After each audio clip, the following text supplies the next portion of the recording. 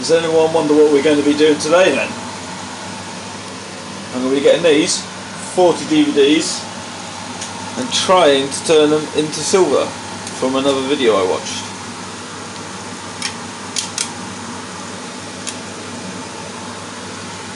Apparently what you do is you just soak them and boil them. It's going to be really interesting.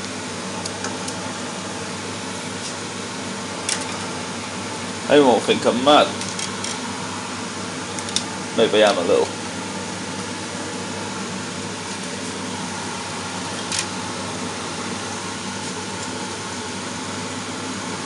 It's going to be very weird. This just looks so wrong. What am I doing? I don't use DVDs anymore anyway.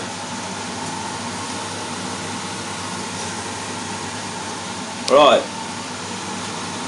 Let's see. Well, it's all boiling now. You see the layers are all starting to peel off. See right there. Give it a scratch.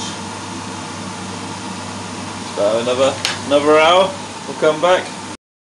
I've had to sort of take most of them out and you can sort of see where I've given them a bit of a scrape. I've just been scraping them with a knife and the, you know, sort of put them in the sink and sort of scraping them.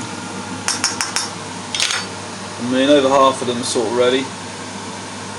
It's going to become a little bit complicated where I'm going to be getting bits of paint mixed with the foils, so we'll see. To help the process along, I have added, well, most of this vinegar to both batches, and where is it? On a couple of them you can start to see through them. There's a prime example right here, if I can get to it.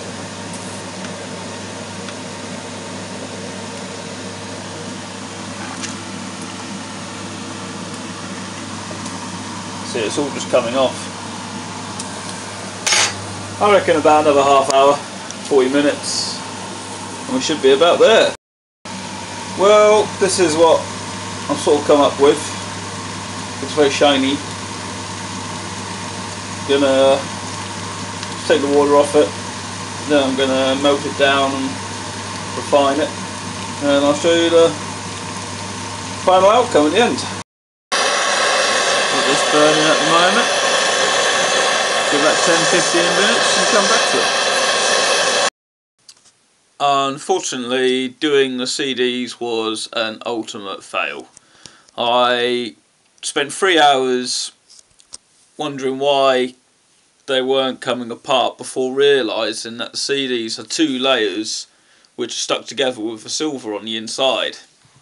So after three hours of doing without realising, I finally split them all apart and then I spent another hour uh, letting them boil, and I added some vinegar, which I thought would, you know, help help break them off, as it's like a sort of acid. And then they still weren't peeling off.